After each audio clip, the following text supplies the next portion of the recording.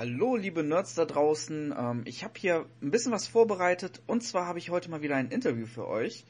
Und zwar gibt es etwas Neues hier in Deutschland. Ähm, das gibt es zwar auch schon länger in den USA, aber Gott sei Dank hat sich endlich jemand erbarmt und gesagt, alles klar, die Nerds in Deutschland, die brauchen auch sowas. Ich rede von solchen äh, Nerdboxen. Das sind so kleine Kisten, die ihr zugesandt bekommt. Im Abo könnt ihr die äh, bestellen. Und ihr wisst aber nicht, was drin ist. Äh, Fakt ist, es ist irgendwas Nerdiges, es kann sein Wackelkopffiguren, ähm, irgendwelches Merchandise zu Videospielen, etc. etc. Und das ist halt ein monatliches Abo. Und wie gesagt, das gibt's in den USA schon länger und jetzt gibt's es auch in Deutschland, nämlich die Jungs von lootchest.de haben sich, wie gesagt, erbarmt und bringen euch eine Box dazu und ich habe jetzt hier den Jörn von Loot Chest und äh, der wird euch jetzt auch so ein bisschen was über das Projekt erzählen und wie es dazu kam, etc. etc. Lieber Jörn, dann stell dich doch mal vor. Ja, hi Sky. Ähm, ja, ich äh, bin einer der Inhaber von äh, Loot Chest, äh, was ich zusammen mit meinem Bruder mache. Ähm, wir sind eigentlich genauso geekig und nerdig ähm, wie viele da draußen. Also wir sind mehr in dem alten Computer C64 Atari Bereich äh, zugegen, äh, Commodore, Amiga etc. pp. Ähm, und äh, wir haben vieles vermisst, was es in Deutschland so nicht gibt. Ähm, wir sind der Meinung, dass es wichtig ist, dass die Leute so ein bisschen Überraschung bekommen. Ja, also wir kennen viele Leute, die sagen zu uns, es gibt so viele nette Items, die aus den USA kommen, die aus Übersee kommen, die ihnen teilweise schon England sind, die aber hier nicht zu bekommen sind. Und wenn sie hier zu bekommen sind, dann lohnt es sich eigentlich nicht, diese einzeln zu kaufen, wegen Versandkosten hin und her. Ähm, und das ist eigentlich so das gewesen, wie wir drauf gekommen sind. Ähm, wir, wir möchten einfach den Leuten hier etwas Interessantes bieten, ähm, wo sie sich nicht groß drum kümmern müssen, ähm, was eigentlich von alleine läuft, aber was einem jeden Monat einen gewissen Spaßfaktor generiert. Und genau das, hoffe ich, haben wir mit Lootchest geschafft. Und äh, bitte da auch äh, sehr drum, wenn irgendwelche Dinge eurerseits äh, zu beanstanden sind oder irgendwelche Fragen sind, dass ihr das gerne kurz uns stellt oder auch dem Sky im Forum etc. Genau, also es gibt zig Möglichkeiten, die Jungs von Luchas zu erreichen. Ähm, wir haben extra für die Jungs ein Unterforum bei uns auf starblight.de eingerichtet. Äh, dort könnt ihr dann auch direkt Kontakt suchen. Alternativ könnt ihr es natürlich auch gerne über deren offizielle Seite luchess.de machen oder über Facebook, Twitter und ähm, andere Möglichkeiten. Äh, also da werdet ihr definitiv Gehör finden. Ähm, was mich jetzt so interessieren würde, so dieser ganze technische Ablauf, dieses ganze organisatorische, äh, kannst du uns da so ein bisschen was darüber erzählen? Ich finde das immer sehr faszinierend, ja. interessant. Also das, das ist es allerdings. Ähm, vor allen Dingen, weil hier in Deutschland ist es ja eigentlich noch nicht so bekannt. Ähm, viele Firmen, die wir haben, die sind in Übersee, wie ich das gerade schon mal erwähnt habe, und halt auch wirklich äh, Frankreich, Spanien, Italien, äh, also wirklich querbeet. Ähm, und wir holen uns ja auch nur Sachen, die wirklich lizenziert sind. Ja, also wirklich offizielle Sachen, die äh, nicht irgendwie aus China kommen, irgendwelche China-Gadgets, die wird es bei uns nicht geben. Das wird also wirklich immer lizenzierte Ware sein, ähm, die dort bei uns reinkommt. Das heißt, der qualitative Aspekt ist uns sehr wichtig, dass die Sachen vernünftig sind, dass das eine qualitativ hochwertige Sachen sind. Ähm, und das alles zu sourcen und ja, interessante Produkte und Hersteller zu finden, die dann aufzuschlüsseln, äh, ist schwierig. Das dauert. Das dauert sehr lange und das sind so Arbeiten, die haben sich die letzten Monate hinweggezogen. Also wirklich über lange, viele Monate. Ähm, weil man muss auch wirklich äh, einzeln den Leuten erstmal erklären, was die fragen natürlich, was macht ihr überhaupt? Was ist das, was ihr da macht? Das kann man ja in so ein, zwei Sätzen kann man das nicht erklären. Also haben wir da wirklich Präsentationen gemacht ähm, und denen das geschickt und das per Telefon erklärt und ähm, bis sie uns dann erstmal so die Preise gegeben haben, weil das sind wirklich so, sind so kleine, viele Schätze sind da drin. Sachen, die ihr jetzt auch nirgendwo in Deutschland irgendwo bekommen würdet könntet ihr importieren, ja, aber ähm, das sind Sachen, die man nicht importiert, weil ähm, die Versandkosten dann noch höher sind. Ähm, ja, und wir, wir haben wir haben diese ganzen Sachen zusammengesucht, wo wir sagen, darüber würden wir uns freuen. Wir sind halt auch in einem gewissen Alter, wo wir sagen können, okay, äh, wir wissen, was Kitsch ist, ja, und wir wissen auch, was coole Sachen sind. Da versuchen wir so ein bisschen die Symbiose zu finden, dass wir unseren Leuten auch wieder schöne, vernünftige, hochwertige Sachen, ähm, die man nutzen kann, in die Box packen, damit jeder jeden Monat äh, sehr viel Spaß daran hat. Das ist uns wichtig. Das klingt auf jeden Fall schon mal verdammt interessant. Ähm, du hast ja schon so ein bisschen angedeutet, äh, nach welchen Kriterien geht ihr denn für die Auswahl der Boxen? Also was hat es euch besonders angetan? Wovon denkt ihr, das wird die Leute am meisten begeistern? Also wir ähm, favorisieren uns jetzt nicht auf irgendwelche Innenspiele nur, ähm, aber die haben wir natürlich auch immer mal drin. Also uns hat es sehr angetan, definitiv Star Wars. Das ist ein, ein, ein Thema, was wir sehr gerne behandeln und sehr gerne mit reinpacken. Ähm, aber auch das Thema Minecraft, definitiv, was für uns sehr interessant und wichtig ist. Ähm, dann sind aber auch viele andere Spiele mit drin. Ähm, Star Trek wird was, wird immer mal was mit drin sein. Portal wird was immer mit drin sein. Also es wird nicht immer was vom Portal drin sein, aber in, äh, in verschiedenen ja, Kategorien oder Stufen, je nachdem, was wir wann wie bekommen. Super Mario, Nintendo. Ähm, dann haben wir hier, wie, heißt, wie heißen die hier, Big Bang Theory, solche Sachen sind auch drin. Wir finden den Sheldon super cool, den mögen wir total gerne. Tetris, Pac-Man, ähm, Amiga, äh, Sachen, Items oder auch mal ein Atari-T-Shirt und ich kann jetzt noch, ich könnte jetzt Super Mario ähm, Controller äh, in so einer so einer Controller-Box, wo man Bonbons reintun kann und ich könnte jetzt 80.000 Sachen aufzählen, ähm, aber um da mal einen groben Einblick zu bekommen, ähm, sind ja sind sind diese Dinge, die ich da gerade genannt habe, sicherlich um so einen ersten Einblick zu bekommen, sicherlich äh, verwertbar. Ähm, solltet ihr uns jetzt hier bei YouTube hören und sehen, ähm, in dem Videofenster werdet ihr jetzt eingeblendet sehen ähm, eine Beispielbox. Dort könnt ihr zum Beispiel so ein bisschen erahnen äh, oder mal schauen, was drin sein könnte. Ähm, da ist jetzt zum Beispiel äh, eine Taste von Aperture Science oder Aperture Laboratories, ähm, bekannt aus dem Spiel Portal. Ähm, dann diesen super kultigen Super Mario Schlüsselanhänger.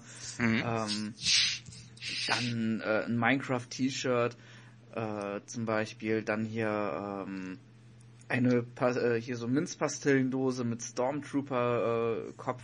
Also es sind schon ziemlich coole Sachen bei und ähm, also ich denke, damit werdet ihr auch schon so einen gewissen großen Kreis an Nerds äh, definitiv ansprechen, denke ich.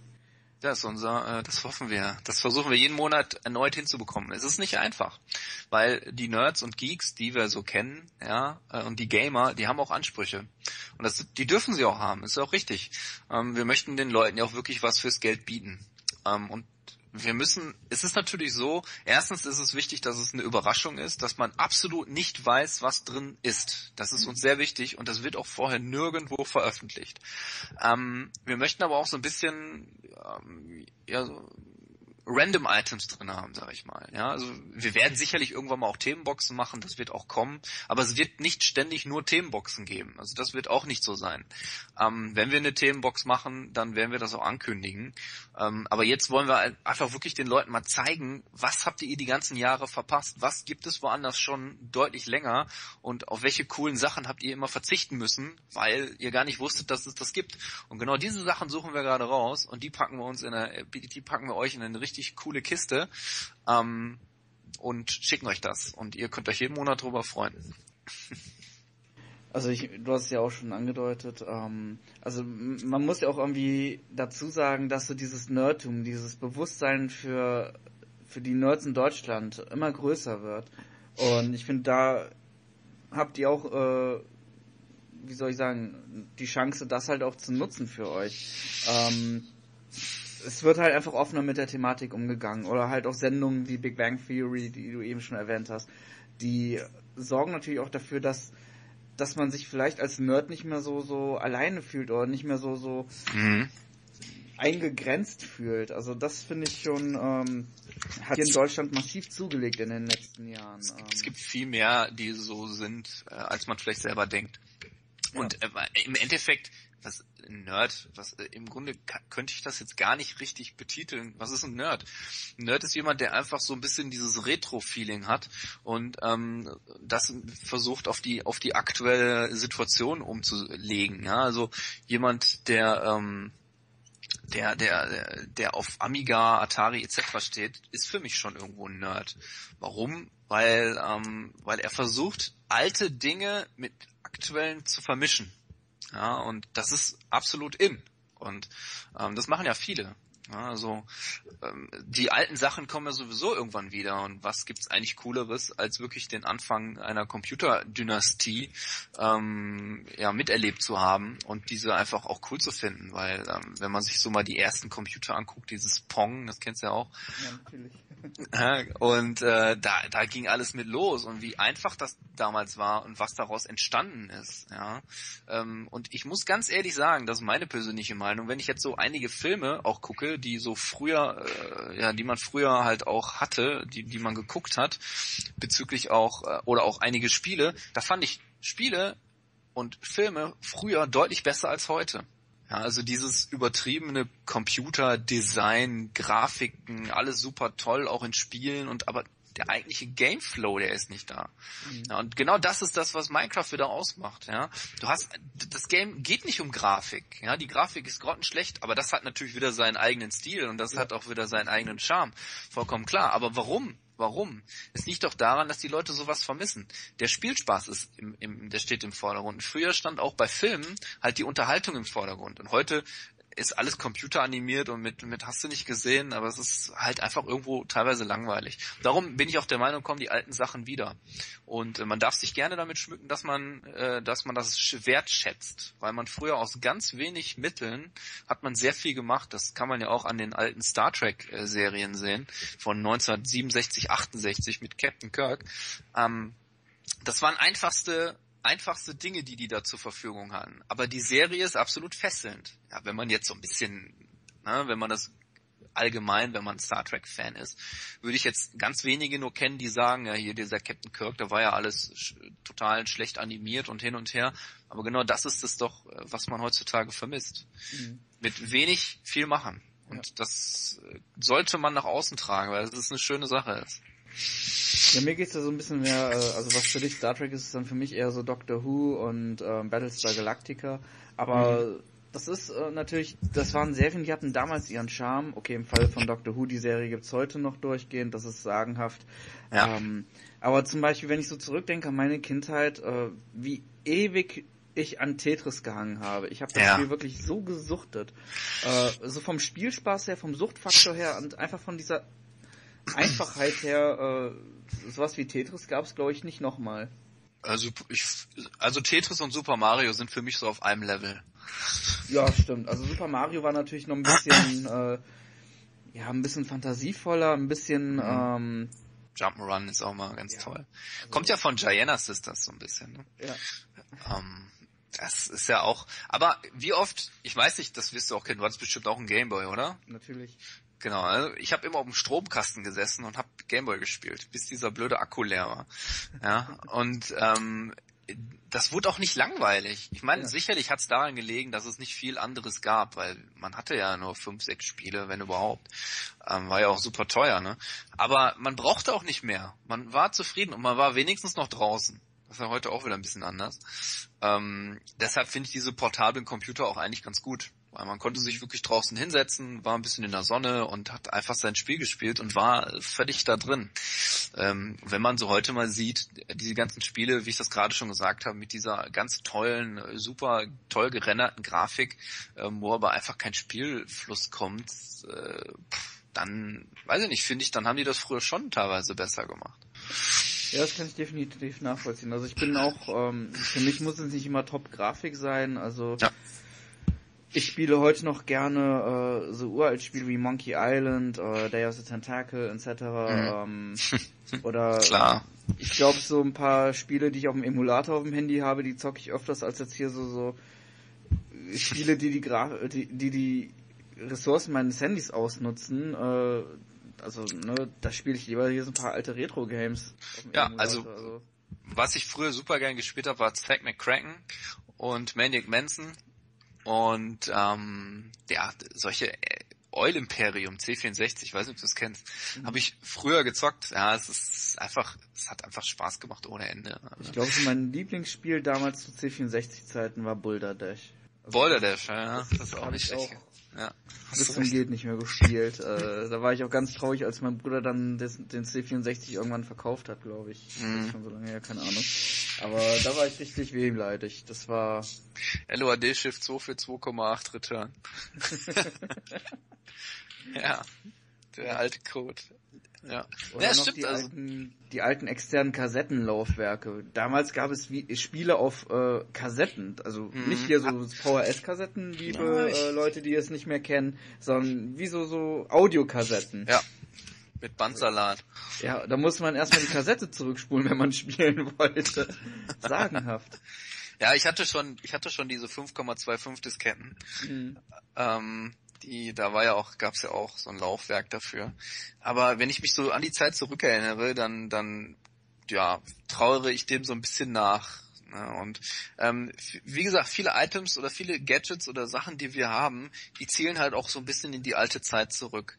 So auch immer, auch dieses Retro, das werden wir immer verstärkt auch ein bisschen mit drin haben, dass man so ein bisschen so an die wehmütig, aber auch stolz äh, stolzer Anhänger dieser dieser Zeit ist und dass man da immer so, so kleine Gedächtnisstützen hat, äh, wie schön manche Dinge doch früher waren ähm, und äh, dass man da heute absolut nicht mit alleine ist, sondern weil diese Generation irgendwo auch jetzt gerade ähm, Mitte 30 ist, so wie ich auch, ähm, und damit aufgewachsen ist. Und wir wir hoffen auf positive Feedbacks dazu. Das ist uns auch sehr wichtig, dass wir da auch Feedback bekommen. Ja, aber ich denke, ich habe da schon eine sehr gute Mischung wirklich aus ähm, Retro-Sachen und halt auch relativ modernen Sachen. Wie jetzt ja. eine, wenn man jetzt mal die Beispielbox äh, als Vorlage nimmt, äh, die Anspielung auf Portal, ähm, Bane aus Batman, wobei Batman natürlich ja auch schon seit den 60ern äh, in Comicform existiert und sowas.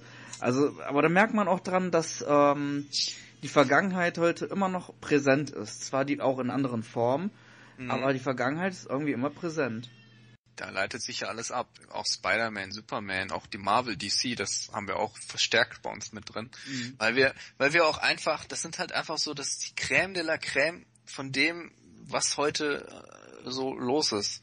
Ähm, das, das wollen wir auch so ein bisschen wertschätzen. Ja, ähm, weil, weil wir finden es einfach super und wir möchten gerne den Leuten diese Dinge positiv ans Herz legen, ähm, weil wir viele, viele, wirklich sehr viele Sachen gefunden haben, wo ich selber, ich habe sie mit meinem Bruder zusammen gesourced, ähm, wir haben uns die Sachen angeguckt, haben gesagt, Hammer, dass es das gibt, das ist einfach richtig Hammer. Ja, ähm, und wir waren sehr, sehr, ich meine, wir sind seit seit 20 Jahren, ja, seit 25 Jahren sind wir ähm, teilweise ähm, mit Videospielen und im Gaming-Bereich auch, ja, auch schon selber privat immer. Und wir wussten nicht, dass es diese Sachen gibt. Ja, und ähm, wir sagen uns selber, hätten wir auch nur eine Ahnung gehabt von dem, was es da alles gibt, ähm, ich hätte schon längst so eine Box. Mhm. Ich selber. Ich finde es jetzt für mich sogar gerade schade, weil ich kann unsere eigene Box ja irgendwo nicht ja, abonnieren. Bringt ja nichts, weil ich ja weiß, was drin ist. Ähm, das finde ich jetzt für mich schade. Aber dieses, das gebe ich gerne an euch weiter. Ja, ähm, ihr dürft alle diesen Überraschungseffekt haben und wir werden ihn auch definitiv, wir werden nie was an die Öffentlichkeit kommen lassen, was drin sein wird. Das wird immer eine Überraschung bleiben. Das ist uns sehr wichtig. Ähm, wie gesagt, ich finde es schade, dass ich es selber bei mir nicht machen kann, weil ich nehme mir natürlich die Überraschung. Ähm, und bin aber froh, dass wir eine Möglichkeit gefunden haben, diese ganzen Sachen irgendwo äh, zu kanalisieren und äh, sie euch in eine wirklich netten Überraschungsbox monatlich zur Verfügung stellen dürfen, wenn ihr uns abonniert. Ja, habe ich ja doch noch ein paar interessante Infos aus dir rausbekommen. Und ähm, ja, war auf jeden Fall ein tolles Gespräch, hat mir Spaß gemacht. Ich hoffe, unsere Zuhörer hatten auch einiges an Spaß dabei. Ähm, wie gesagt, bei Fragen wendet euch gerne an Jörn und sein Team. Äh, Möglichkeiten, ja. dies zu tun, haben wir jetzt ausreichend erwähnt. Und ähm, ansonsten ja. schaut auch in unser Forum. Äh, abonniert den YouTube-Kanal, setzt ein Like äh, auf dem äh, Face auf der Facebook-Seite von Loot Chest, äh, followt bei Twitter und und und. Ähm, ja, das ja. letzte Wort überlasse ich dir, lieber Jörn. Ja, lieber Sky, ähm, ich hoffe, ich konnte deine Nerd-Fragen gut beantworten. Ich bin ja jetzt nicht der extrem heavy Nerd, aber ich hoffe, ich konnte äh, da einiges an Auskunft geben. Ähm, wichtig war mir aber auch, dass, dass man so ein bisschen Einblick bekommt in das, was so dahinter ist. Ähm, was, was uns noch sehr wichtig ist, ähm, gebt uns Feedback. Wir freuen uns auf jedes positive sowie negative Feedback. Ähm, und genau, genau das ist es, was wir auch brauchen. Wir brauchen halt Input. Ja, und wenn, wenn euch was einfällt, was, was ihr uns mitteilen möchtet, ähm, gerne schreibt uns an info.luchess.de oder wir haben seit heute haben wir auch ähm, so einen kleinen äh, Chat eingefügt, so einen Support-Chat auf unserer Seite. Ähm, da stehen wir auch zur Verfügung, wenn wir halt die Möglichkeit haben, da online zu sein. Ähm, und lasst es uns einfach wissen. Ja, wir, wir möchten euch sehr gerne das geben, was ihr irgendwo braucht. Ähm, dafür müssen wir es aber auch wissen. Also wir machen sicherlich jetzt schon einiges richtig, aber wir sind auch nicht hundertprozentig unfehlbar ähm, und haben da bestimmt einiges, was wir verbessern könnten. Und äh, wenn wir das von euch erfahren würden, dann würde uns das sehr stark helfen. Ja, da stimme ich dir absolut zu. Und ähm, ich bedanke mich auf jeden Fall dafür, dass du dir Zeit für uns genommen hast und äh, wünsche dir und deinem Team natürlich alles, alles Gute und ich bin mir sicher, wir haben nicht das letzte Mal was von euch gehört. Ja, danke dir auch. Vielen Dank fürs Info. Gerne. Ja, damit bedanke ich euch, äh, bedanke ich mich bei euch fürs Zuhören und äh, wünsche euch noch einen schönen Abend und ähm, ja, bei uns geht's mit normalem Programm weiter und äh, ja, bis zum nächsten Mal. Ciao. Tschüss.